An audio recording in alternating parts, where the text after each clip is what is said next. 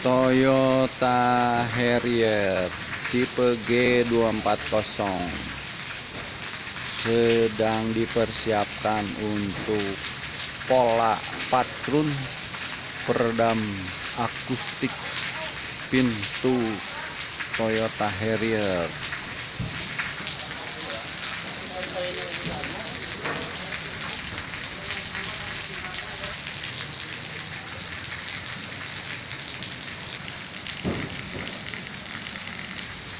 sedang dipersiapkan untuk dipola.